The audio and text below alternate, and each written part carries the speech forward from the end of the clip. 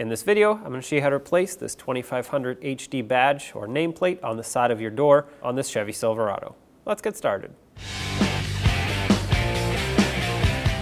If you don't have any of these here anymore, well, then it's going to be fairly easy because it's just going to be a matter of sticking the new ones back on and obviously cleaning things up. But mine are still here, so I'm going to show you how to take them off. Take a trim tool and just slowly try to work these off of here.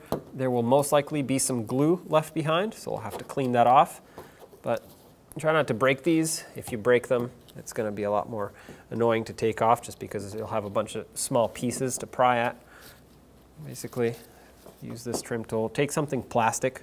Uh, don't, don't use anything metal just because it'll damage the paint that's behind it. And then you'll have more, more work to do other than just clean up and sticking the new ones on.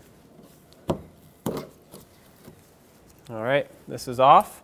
This is now just the leftover glue that's stuck on here, and you could take this off in multiple different ways. You could scrape it with a plastic razor blade. I'm gonna try that. Uh, you could take a special rubberized wheel and basically clean all this off. That usually makes a mess and I like to do that for larger surfaces, not necessarily these small um, areas that still have double-sided tape on them because these parts here, these areas, you can still see obviously through the letters and usually those wheels will leave some residue behind so it's not the most ideal item or tool to use here. So I'm going to try to scrape it off.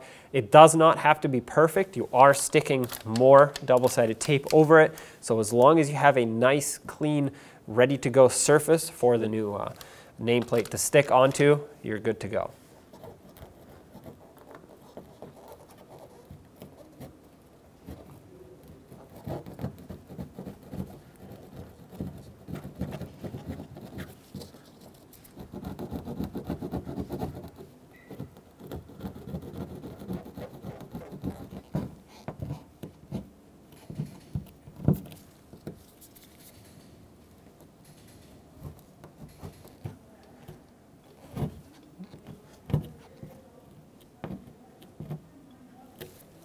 Now I'm going to use a glue solvent on a rag.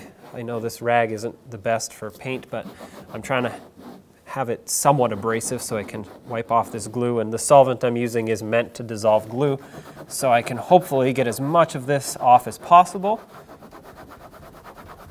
The better I uh, clean this area, the more likely the new badge will stick. And obviously that's what we want here.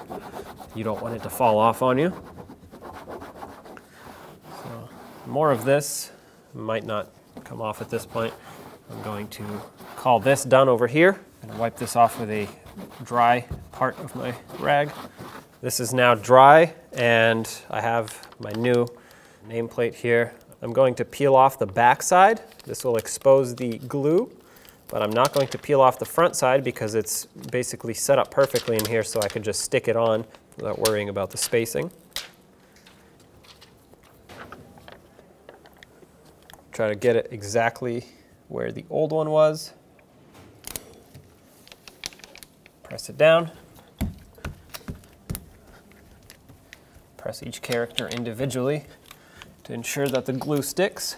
This is why it was important to have it very well cleaned. Now, peel this off. And there you go. It's nice and new and shiny. Do the same to the other side if you need to. When only the best will do, demand TRQ the only company that lets you view before you do. TRQ is committed to offering the highest quality aftermarket auto parts that are engineered for peace of mind. Thanks for using and viewing with TRQ.